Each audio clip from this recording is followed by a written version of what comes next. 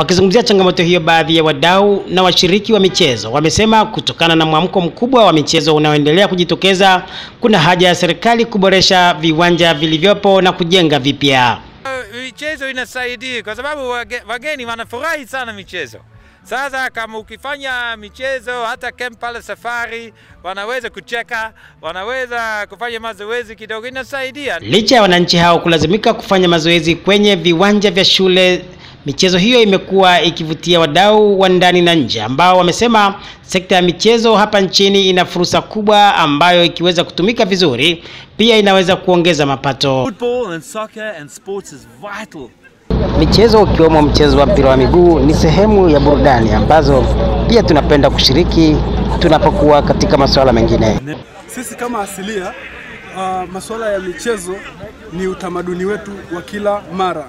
Tunashiriki sio hapa tu Arusha, hata kwenye kambi zetu kokote na waga. Tuna utaratibu mwingine wa twende porini ambao unawashirikisha una- pia watoto katika masuala ya michezo.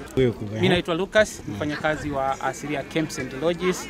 Uh, ni assistant captain wa, uh, wa timu ya Asiria upande wa maguides. Uh, baada ya kukaa muda mwingi kwenye magari tunaendesha wageni uh, takriban labda miezi mitano sita kwa mwaka tukiwa kwenye magari, tunapata wasaa mzuri pia wa kuja kufanya michezo, kufanya mwili wetu kae vizuri kabla ya kuanza kwenye kazi nyingine za utalii wakati wa kipindi cha watalii kikiwa kikubwa.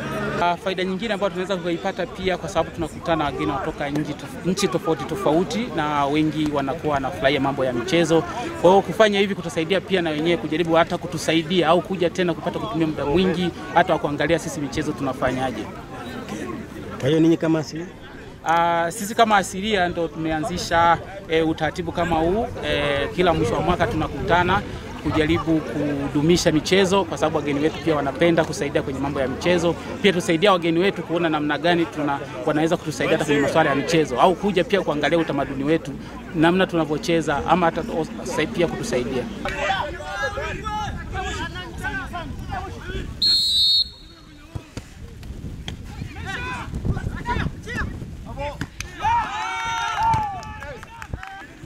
Kutoka Arusha ni mwanaspoti wako Asraji Mvungi, ITV.